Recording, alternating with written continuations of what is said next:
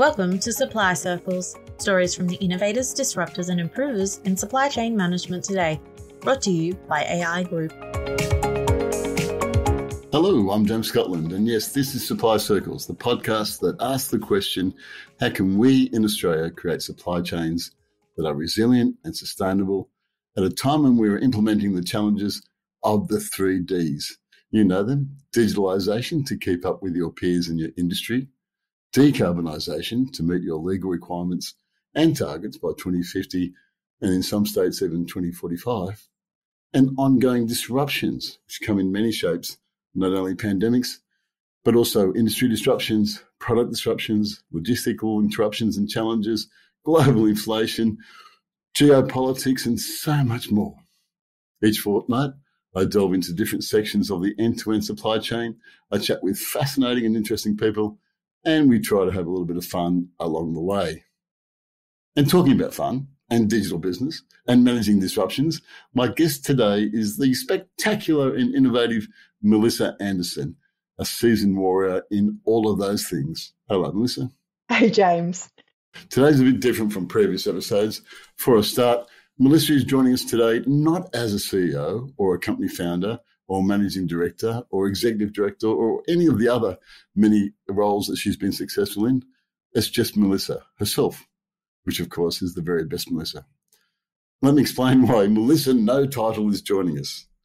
During the multiple years of the COVID crisis in Australia, supply chain managers, operation managers, and profit center managers were under intense and unrelenting pressure to manage the issues that just kept coming logistic issues, critical stock shortages, shortages and delays, the need to pivot to new markets, to set up new supply lines, to manage nervous and stressed out buyers, to achieve continued profits despite escalating costs and inconsistent sales.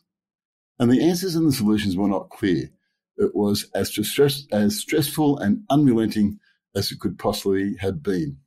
And it was made even harder by years of organizational 100% commitment to lean and ultra efficiency, ultra efficiency. I'm having trouble today, which meant supply chain and logistics and procurement departments had staffing and skills levels structured to meet man, to meet and manage standard operating conditions. There was minimal capacity to manage disruption and chaos. Plus, of course, many of our own jobs came under threat or ended or fundamentally changed. It was tough. It was a tough period to be in supply chain and business management. Over time, the COVID era taught us a lot about ourselves and our careers. It made many of us start to realize the way to view work needed to change. It caused many of us to question what we were doing. What's it all about? Was it worth it? Did you know that according to global research, over 53% of managers were left burnt out in the wake of COVID 19? And this is not a casual term. According to the International Classification of Diseases, Burnout is a syndrome conceptualized as resulting from chronic workplace stress that has not been successfully managed. It is a diagnosable condition that consists of three symptoms physical exhaustion, disengagement with working colleagues, and cynicism for one's job and career. In many of the episodes of this podcast in the past, we've spoken on the critical importance of leadership. Today, I want to delve into this uh, very important issue of leadership, the critical important part of managing ourselves in order to look after and nurture others. One solution to the confusion and the disengagement with our jobs and our careers is to break, is to take a break, have an extended break, to take a sabbatical. HR and career advisor company Indeed.com described a sabbatical as a period of rejuvenation. It allows an employee to understand the importance of taking care of their own physical and mental health. And upon returning from sabbatical, the employee may understand just how important it was to their ongoing productivity. Another HR commentator says a sabbatical is the proactive measure to manage stress, preserve a person's physical health, and it helps maintain relationships so they can complete their job duties to the standard that the companies expect. So it's something that we should talk about, something we should embrace, something we must understand as leaders. Our guest today, Melissa herself, is at the end of her year long post COVID sabbatical. I'm keen to ask her how it came about, what were the decisions involved, what happened, and what she learned. So let's ask her. Melissa, you've been all around the world lately. Where are you today? I'm on the Sunshine Coast, just near Noosa, on a lovely 10 acre property. It's quite lovely. It's been raining here this morning, and uh, the birds have been singing despite the rain. It's a good spot a to be. Of, a bit of warm rain in uh, coastal Queensland. Um, mm. You grew up in coastal country Queensland, I think, didn't you? Yeah, um, country Queensland in Bundaberg. Ah, beautiful. And then went to yeah. Brisbane Uni, but didn't stay there long. You ended up in China. Tell us that story. Yeah, I moved to Brisbane to finish senior uh, and then uh, went on to university. Um, I wasn't a great university student in my undergrad. Uh, I, I found it kind of boring and not quite exciting enough. So, to um, amp up the interest levels, I decided to transfer my degree to study in Shanghai and China, uh, which I did at Fudan University in Shanghai. Uh, and it was a great move. Just a slight way. Did you speak Chinese? I'd been learning Chinese at uni. Um, I thought I spoke Chinese, and then I landed and realized I really didn't. Um, but yeah, it, I do now. Um, and uh, yeah, so I studied Chinese while I was there as well, continuously, and spoke every day, of course. Um, but yeah, it was a good move. It was um, I, I really great thing for me to do at that time in my life. Uh, and but it, uh, uh, it, was the start of um, of a fast paced career, wasn't it? Because you stayed there yep. and went into business. Yeah, I did. And then you went into a digital business. Yeah, I did. I, I started working at the consulate in Shanghai actually for the Department of Foreign Affairs and Trade, and that was good. But again, probably not as exciting as I had hoped for. So while I was there, I, my hobby, I'm a, I'm a bit of a, anyone who knows me is I'm a bit of a geek. Um, and uh, one of my hobbies was programming back in the early days of computing. And uh, yeah, so I started um, putting Chinese, programming Chinese interfaces on top of software for multinational businesses and other consulates as my sort of uh, side hustle while I was at the consulate not started any more money and having as, more fun. As you do, you go to China and start selling um, programming to Chinese. Yeah, yeah sure. Yeah. And then what Yes, yeah. Well, I was enjoying it, and I was enjoying it more than my day job and uh, earning more money. Uh, so I jumped ship, started a company, um, and started working with multinationals and diplomatic corps, uh, helping them out with their technology. Um, in fact, it was funny. My mother sent me a clipping um, last week that she came across my first newspaper article in a national newspaper in China writing about technology.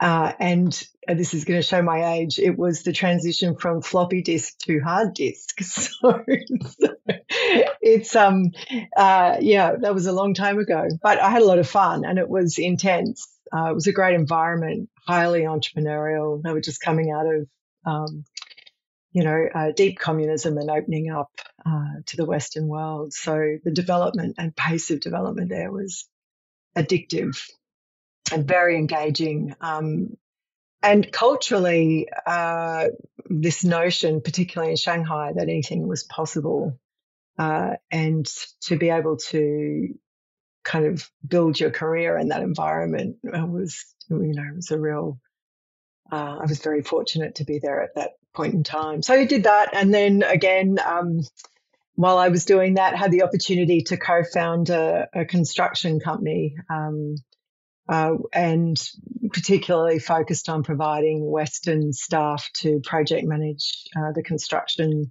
and development of factories uh, for international companies looking to, to operate in and around China. Mm.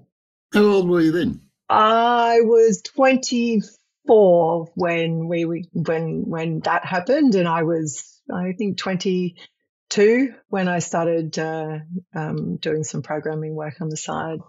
So yeah, young, a young young chicken. Going fast, going fast, yeah. Going fast, yeah. Left country, country Queensland, ended up two companies um, in, in two successful companies, I think, uh, in China yes. uh, yeah. at 24 years of age. Yeah. What did you learn? Uh, I learned that uh, the only limit uh, is the limit that you place on yourself.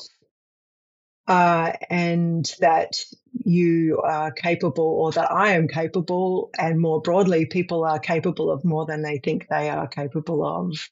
And of course, it was a good time to take risks because, uh, you know, I didn't have um, a mortgage or family, and I could afford to be bold in the decisions that I was making. So the downside wasn't huge. I mean, the, the reality of it, though, it sounds very romantic, but certainly for the first 12 months of me running my own company, I was riding a bicycle to my appointments and getting changed into a suit in the foyers of these multinational buildings, putting on a very good show. Um, but uh, yeah, it was hard, and there were sacrifices made, but it was it was definitely worth it. And and I think I also learned the power of connections with people uh, and that um, by and large, most people want to see other people do well. So, um, using networks and building teams, and whether they're virtual or inside your own company, is that there is a uh, more often than not,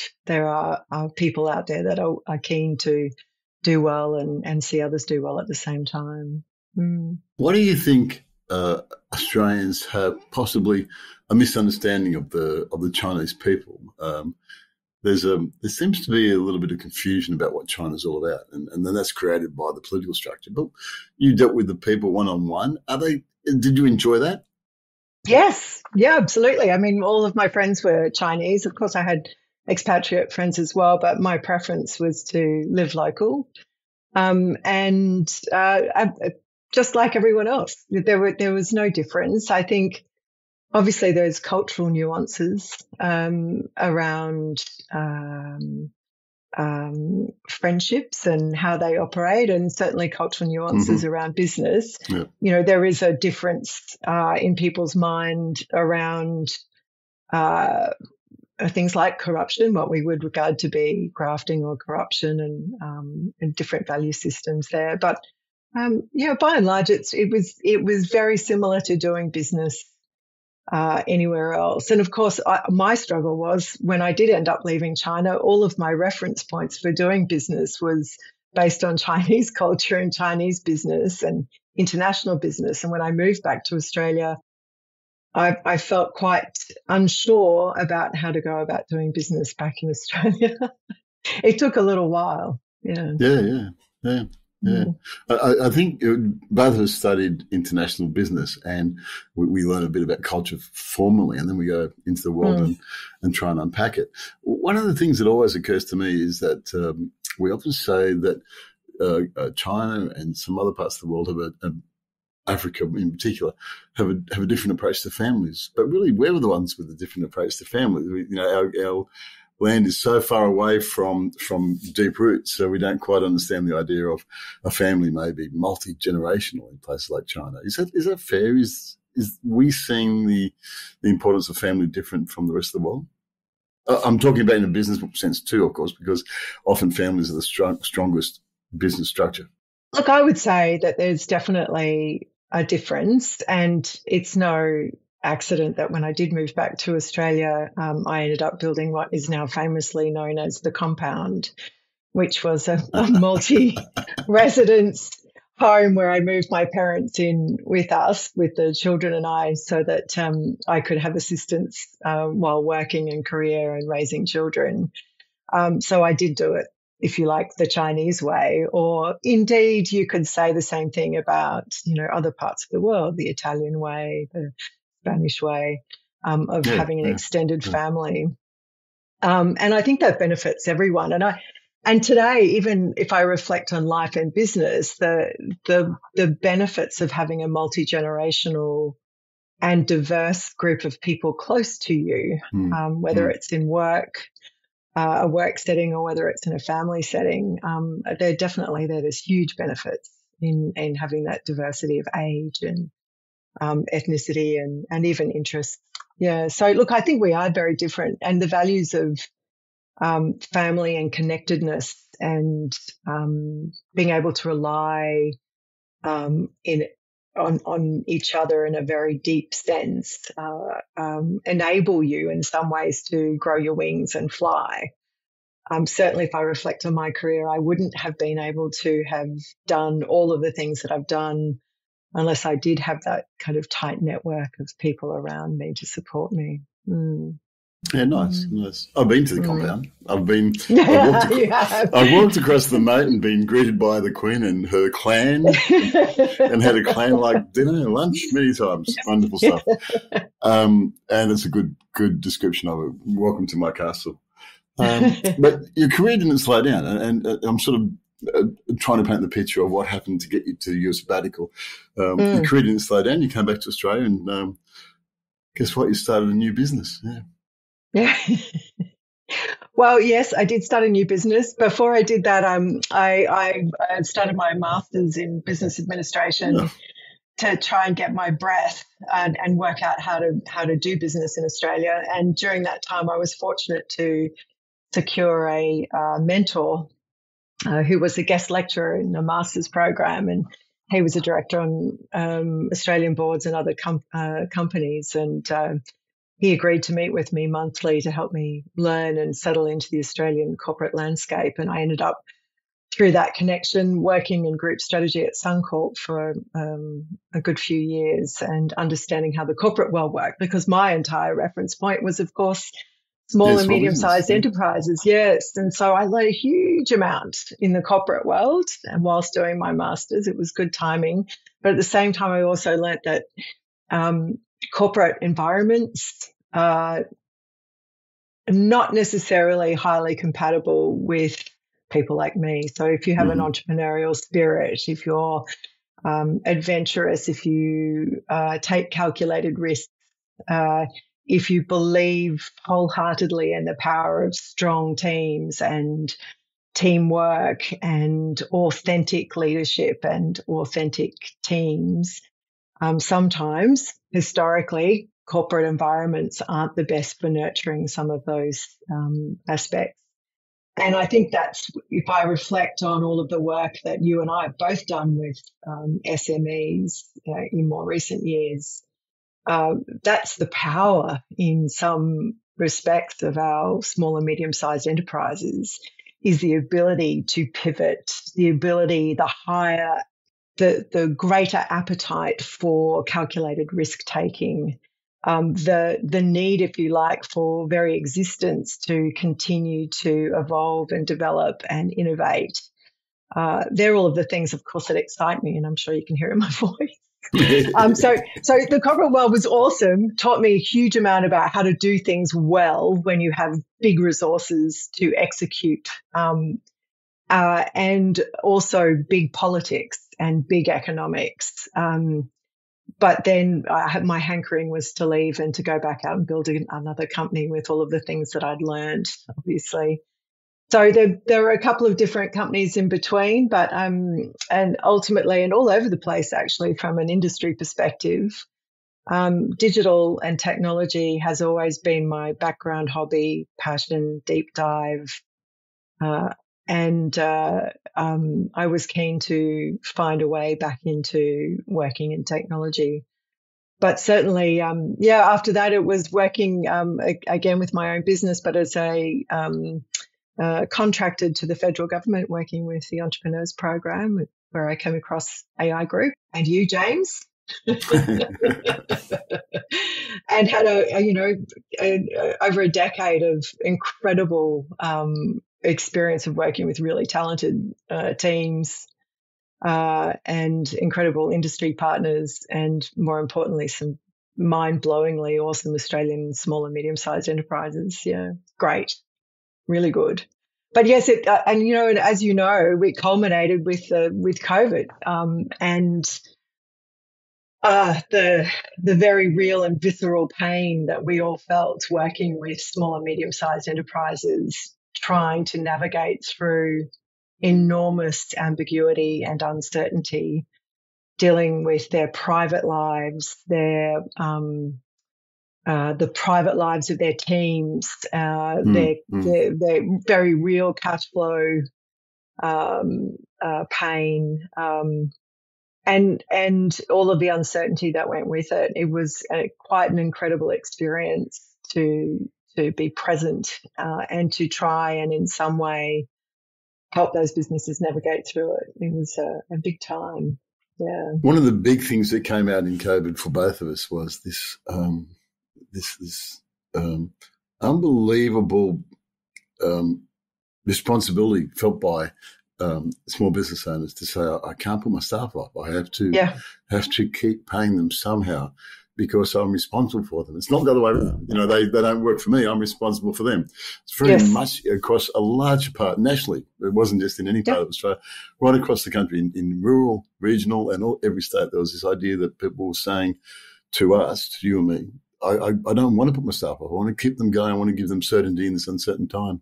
It's tiring yeah. though, but that's true.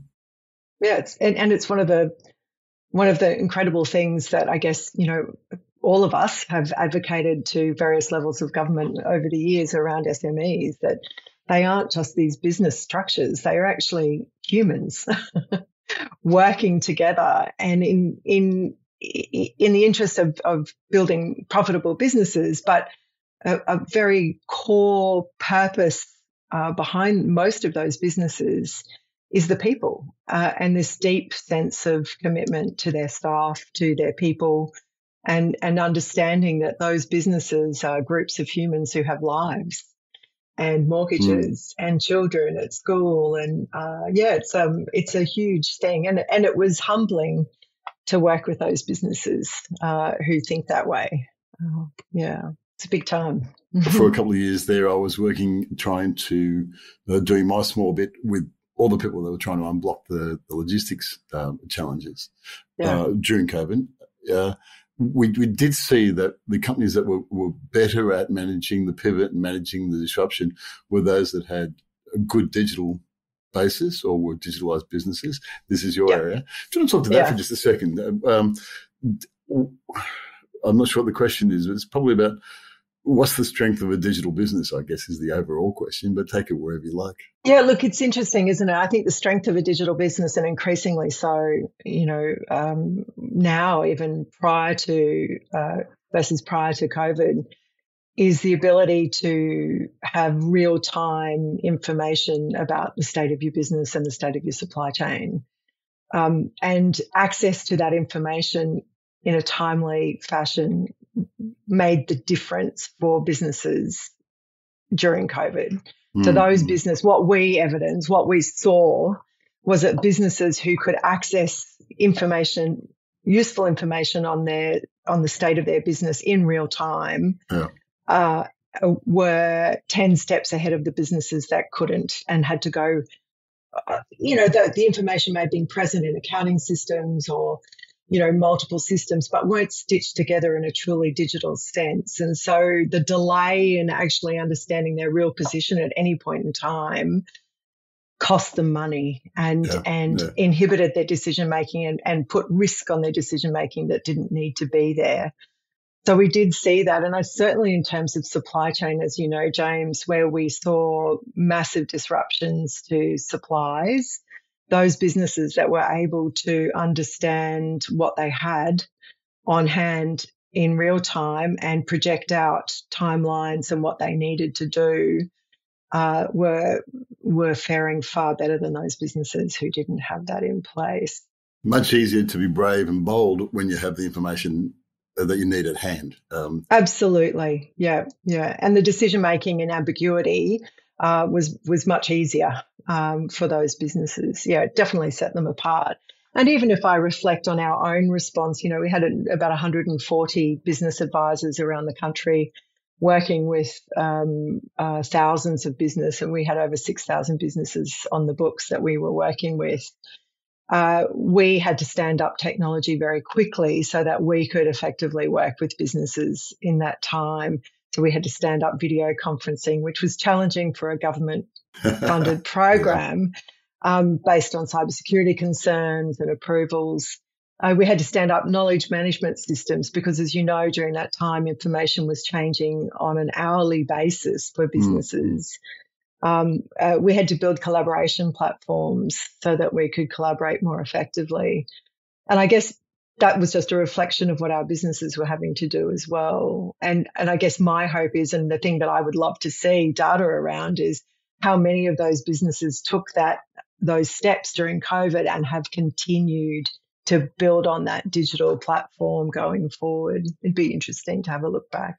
Yeah, I'd forgotten that about how how much work you personally and, and some of the teams, And some friends of ours, how much effort you put into getting the knowledge system in place so that you could help your clients. Uh, yeah, yeah. It was a, it was a tough time, tiring, uh, stressful, and there was a lot at play because these people were saying to us, "We don't want to put our staff off. Help us out the best you can." And yeah, uh, yeah, tough times. No wonder you got to a rather exhausted stage.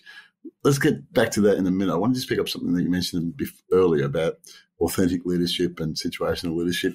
For the few years that we did work together, I remember that you were uh, you were trying to build a team. You were, you were starting to build a team of high performing, highly individual, highly uh, um, uh, skilled uh, senior managers. You were building this team of of over, over.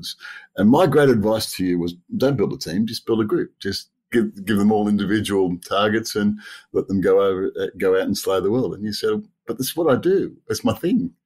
And I'll admit that you built a very good team. The best team in in the uh, very large structure that you were working in. Why do you love teams so much? And, and what has it taught you over the last few years? Uh, well, firstly, I think the, the do, do, do, you think do you think it's back to that China thing where we started off in, the, in this sort of like a, a different approach to, to, doing business? I think I think very possibly is that um, I learned quickly that to get things done, particularly in China, you need to build um, um, a network around you, like a virtual team, uh, to be able to get things done quickly. And you learn that as an entrepreneur as well, as you can't do everything, although you think you can um, being able to build a virtual team around you is the most critical thing. And also, I learned that delegation and trusting um, a team is critical because if you're not doing the thinking stuff, the strategy piece, uh, and you're too busy with your hands in the business, you're not working on the business, uh, then you're not going anywhere fast. You can't be innovative. You can't be creative. You can't take those bold steps unless mm. you feel mm. that you've got an engine behind you that's got your back and is going right. to perform hard and perform well because they're intrinsically motivated to do it rather than, mm. you know, having a leader that hovers. Um, and uh, so I, I, think it's both. Um, uh, I love people. I'm an extrovert. I'm one of those kind of rare creatures. I'm a geek and I'm an extrovert at the same time. But um, so I like having people around me. But I, I'm also uh, a firm believer of employing people and team members that are smarter and faster and more creative than you are.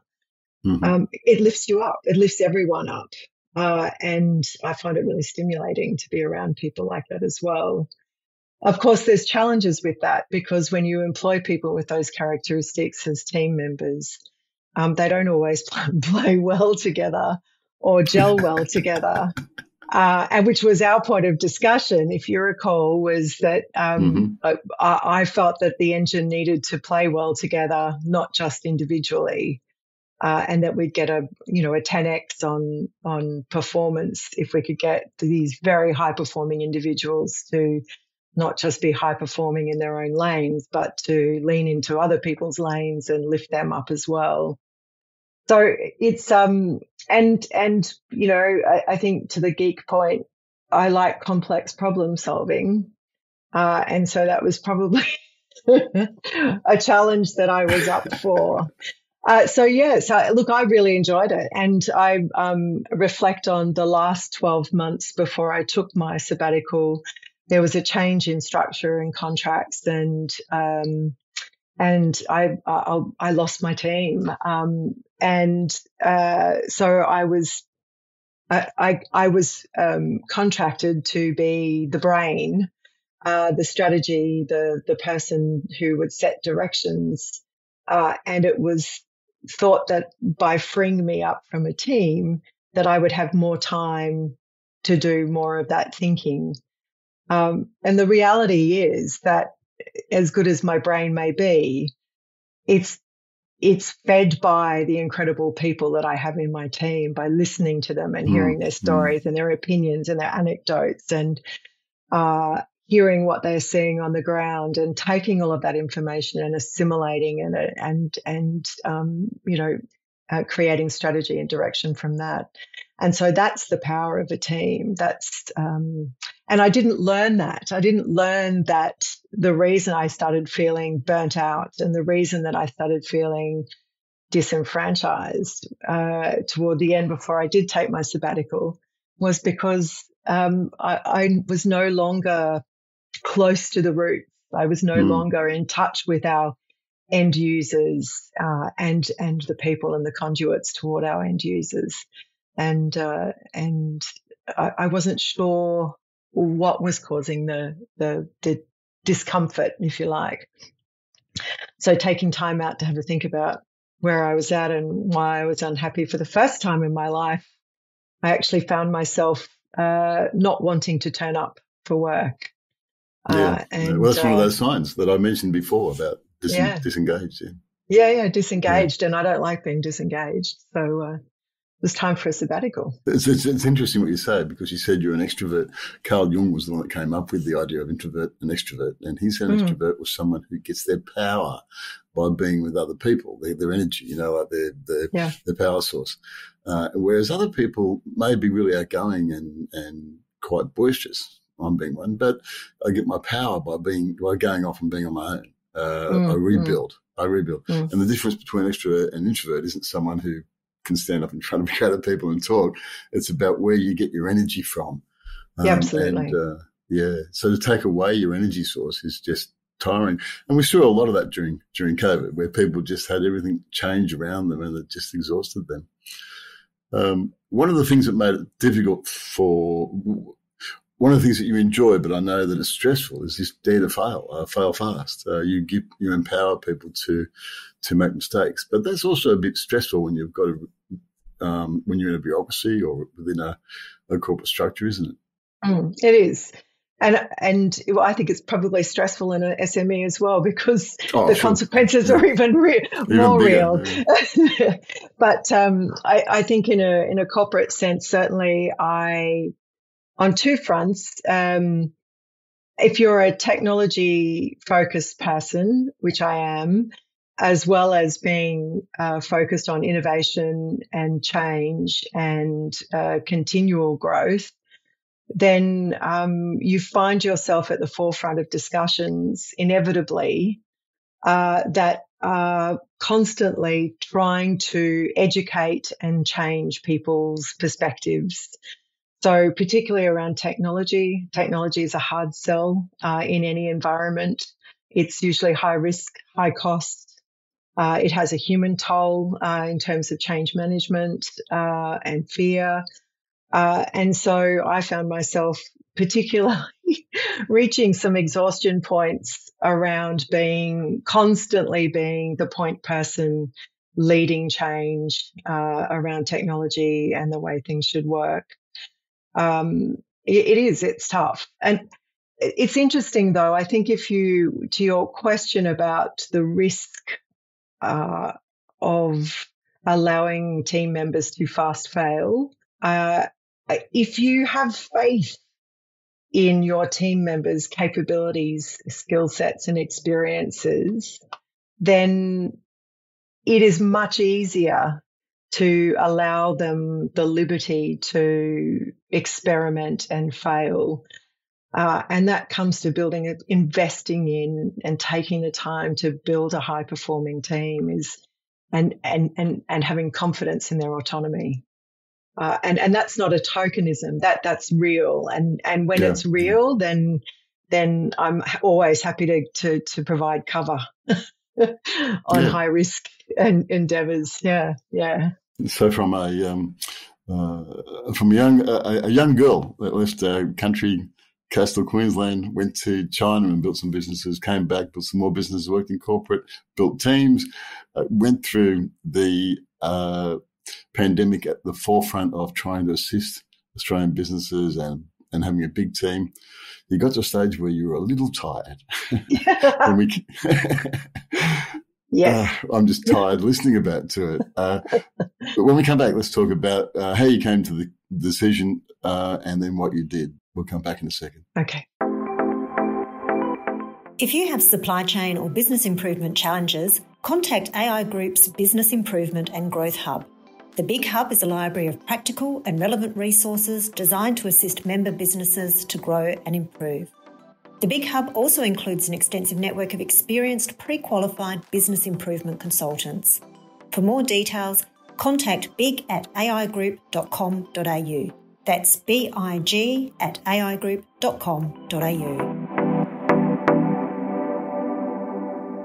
All right, Melissa Anderson herself is uh, telling us about uh, the career today. But now let's talk about how you got to that stage of being tired and demotivated and disengaged, all the things that we mentioned uh, burnt out means. Did you recognize it as burnout or did you think, no, I'm just, I just got to get away? I think, uh, well, taking a step back throughout my career, I, um, I've, I've uh, always sought out sort of leadership um, sort of coaching or support externally. Mm-hmm. And I came to the conclusion that I do actually need to take out time throughout every year. I go hard, but every year I take four opportunities to go and and have an adventure. Okay. Uh, and uh, and I had been very disciplined about that throughout my career. That four times a year I would go off and have an adventure. I said that like I didn't know, but your adventures are insane. Climb to the top of a mountain somewhere or do something wild. Yes, yeah, do something wild. And and there's a couple of reasons for that because and it's always on my own. Uh, and the reason for that is that uh, I believe that the best strategy formulation happens when you have silence around you and you can take the time mm. to bring in all of the disparate strings and pull them together and assimilate those into uh, a thought or into into a way forward. And uh, you know paul keating used to do that. He he was famous for the amount of um, white papers that he produced in his time in government and part of the w- way in which he used to do that was to hive off days in his week where he wasn't part of the media circus and the cycle of politics, uh, listen to classical music loud in his office, and um, and and think. Um, and so mm. for me, that's mm. what I would do on my adventures. I would challenge my limits and think. Uh, often walking right. in the wilderness for days on end. Uh, and come mm, back feeling mm. refreshed and revived. And so, coming to the decision to leave and go on a sabbatical, it was the same it was the same thought process is that uh, I can keep running hard and be increasingly unhappy with where I'm at, or I can stop what I'm doing, go off and give my brain time to stop and think about what makes me happy, where do I want to go, what do I want to be when I grow up, um, and those sorts of things. So, yeah, that's how it came about. Is did you decide to take a year off, and was it scary to have that long away from your career? Yes. to both? Yes, yes to both. Yes, I decided that I was going to take a, at least a year. I thought maybe 18 months, and it's probably going to end up being about 18 months. Um, and uh, yes, it was scary. Um, it's scary from a number of angles, you know. Um, obviously, financially, uh, it's a it's a thing. Uh, it was also scary from the perspective of, you know, I'm, I turned 50 and uh, there's a, a, an age cliff in careers.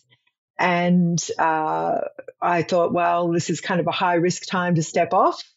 I felt um, also concerned that I would have wouldn't have my finger on the pulse of day to day innovations and business life and technology and and uh, all of those things. So yeah, it was a scary thing to do, and a lot of people thought I was or a brave thing to do, bold, bold. A lot of people thought I was slightly, um, slightly crazy making the decision to do it. But it was absolutely 100% the right thing to do. Yeah. Women have to take time out of their career to, to often take time out of their career to have, to have babies. So they take a Yeah. year here or seven months, six months there. Yeah. And there's been this whole question for many years about how do we to make sure that uh, the, the female advancement is happening as fast as the ones that aren't stepping out uh, Mm. of their career. Uh, to do it in mid-career, just to go and have a sabbatical, to me makes a whole lot of sense. I just wonder how it's going to pan out for people who are in the corporate world or who are eh, deeply invested in a, in a structure that says, "Oh, I'm not sure that's such a good idea." Yeah, and I think it's um I mean the irony is I've been slowly coming emerging from my um, sabbatical and starting to dip my toes back into reading our business press and um, you know technology press and um, you know kind of gearing myself back up to Yeah. to be in the race again. The the irony is of course nothing's changed. I know. The, well, it hasn't changed a little bit. The good bit is the good bit is that we're hearing more and more of, of families, um, mum and dads, both of whom are working, are taking a year off and going caravanning and taking the kids around Australia. while they're quite Absolutely. young, Look, without Yeah. without any inhibitions on the career, which is just great. Yeah. So that's the only thing that has changed. but I guess that's it. That's the thing. I, I you know, the the the the basic tenets of doing business in the world have not changed, and uh, things. I think what happens, uh, and this is the myth, is that when we're in the machine, working day in day out and putting in big hours, we pack so much into a day Hmm. that we Hmm. think, how can you take a year out and not fall behind? Hmm. But in reality, when you stand a hundred feet back from from that day uh, that you've just done, there is nothing terribly remarkable in that day Hmm. that uh, isn't part of normal working life. So I, I, I don't feel like I've missed out on anything. And leaning back in, I actually come with this incredible, fully charged jetpack uh, that I Right. definitely Oh my God, we're all scared now. I know. and curiosity, you know, real Oh, no. genuine curiosity. So I, and I, I know for sure, I, I, whilst I'm always a curious and energetic person, as you know, uh, that was waning. And, Yeah. and I've now, I've, I've got a truly much greater capacity than I would have had if I hadn't have taken time out. And, you know, I, the questions that I had about myself and what I want to be when I grow up, I didn't answer them. Oh, okay. I thought I thought I would have answered them. I know what I don't want. Um, Uh-huh. and I guess that's important. I know what I don't want in my life and, and, um, and navigating away from those things is important. I found out things about myself that I kind of, I guess in the subconscious I knew, but I found them out because I was more tuned in. And uh, those things that I found out about myself, I'm, I'm, I'm using to navigate forward in the next stage of my career.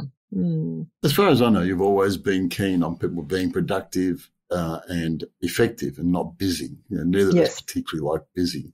No. Were you able to not be busy while you were having your sabbatical? Did you, you know, did you chill? No. surprise, surprise. no. no, I tried. I tried really hard. I just don't think it's my DNA to um, I have to try really, really hard to chill. I know there's medication for that, right? So, um, uh, no, I, I do have an engine that goes uh, goes hard, but I in I do in my own way. So, you know, being in nature, being out on top of mountains, uh, being Mhm. on the ocean, all of those things, um, you know, were activities that I was regularly engaging with. Uh, and in those places, my mind is still.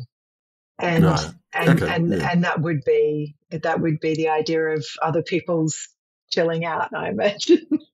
Yeah, it doesn't matter how you get to still. It doesn't matter No, how you find the space in your mind. You just have to go and find the space in your mind, whichever way it is that, that gets you there. Yeah. yeah, Yeah. absolutely. Did you yeah. go to anywhere spectacular? Any, any share any sort of mind-boggling moment in the last four months, or was it really just a, a day, a day by day life? Uh, day by day life, and um, eh, I tried. Um, I plan a lot uh, normally in life. So one of the goals was to not overplan uh, during the twelve months and to allow it to evolve somewhat. Uh-huh. Um, uh-huh. I, some of the most mind blowing moments I've had has actually just being still uh, in yeah. places in nature um, and allowing allowing my mind to be just really present in the moment. Um, so, you know, yeah, on top of mountains, there's been plenty yep. of that, climbing mountains. Um, you know, as you know, I rock climb. So being outdoors, rock climbing is a moment of flow for me, um, where I'm just very focused on staying alive. so, um, but you know, focused on my body and its movement and nature mm-hmm. and my surroundings and where I'm at. Uh, so uh, yeah, there was a plenty of things uh, um, from an adventure point of view that uh, really, um, um, I guess, made my year. I made up yeah. for the last couple of um, the last 18 months and certainly during COVID, I couldn't do my four adventures a year. Yeah, so I felt like there was some catching up to be done. I always like the, I, as you know, I like to, to travel alone. And so I, I always mm. think it's weird sitting in a plane that's traveling at 600 miles an hour or something and trying to be still. Try and meditate at 600 miles an hour. I love it. I love the irony. But I also, I mean, I, I, many places around the world, but one of the things that always occurs to me is the, the, uh, uh, many many days of being in Arnhem Land in uh, Northern Territory, uh, and mm. I'd be sitting on top of a rock, looking out, thinking, people have been doing this for sixty thousand years. You know, this is just amazing. I can sit here so quietly and peacefully, and, and know that there's a whole history of the world around me. It's just a really nice feeling, and it does help you open your mind and de-stress when you know that life is just life. You know, everyone's doing the same stuff. We're just finding new ways to die. Yeah.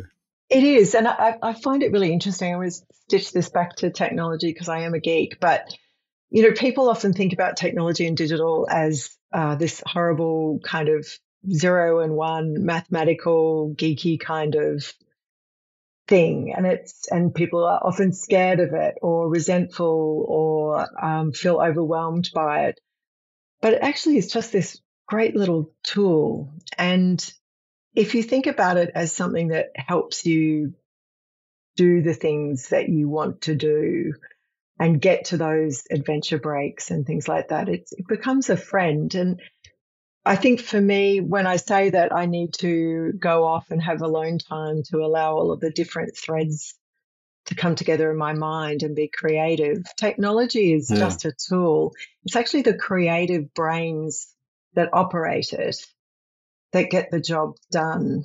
And that can be in any sense. And so sitting on top of a mountain, observing where you're at uh, and nature and everything around you allows your brain to relax. And there's a lot of great research into movement in nature and and how that increases your um, intellectual capacity and your thinking capacity and the outcomes. And if I think about it that way, it's like you know, everyone's talking about Chat GP, GPT and, you know, it's making AI real for the everyman um, and democratizing it to some extent. But it's still only a tool. It's actually just a website, you know, that you sit and interact with or a back end to an app. And you ultimately drive it through your creativity. And some of the best mm, uses mm. that we've been seeing in viral, you know, um, socials has been around the creative use of technology. It's the creativity of the questions and the tasks and the way that you think you can ask it to do something that is actually the real value. And if we don't take sabbaticals, if we don't take time to nurture our brain and give our, our brain time to relax and be creative, then we're going to fall behind you know, from my perspective, that actually is more productive than me going to work five days a week uh, and pressing the metal for five days a week and having an exhausted brain that's tired from being busy. It's much better for me to go off on a hike, relax it, get it creative, create space for thinking, and to come back and use those tools to do the grunt work, the busy work, uh, and use my amazing creative brain and your amazing creative brain to drive that technology to better outcomes. So for me, I kind of think about my sabbatical in that way. It's, you know, feeding my brain. It's, it's allowing it space and time to be creative again and energized um, to be able to come back into the workforce. And so instead of me thinking that I will be an inferior candidate for a role in a in an organization because I've taken a year out, I actually think it's a great asset to any organization that I've taken the time to feed my brain and relax and become creative again uh, and energized. Yeah, and I think it's definitely something that we should all be thinking about in the in terms of our careers is that we throughout our careers take that time. Yeah. I think that's a, a, great explanation of why we should.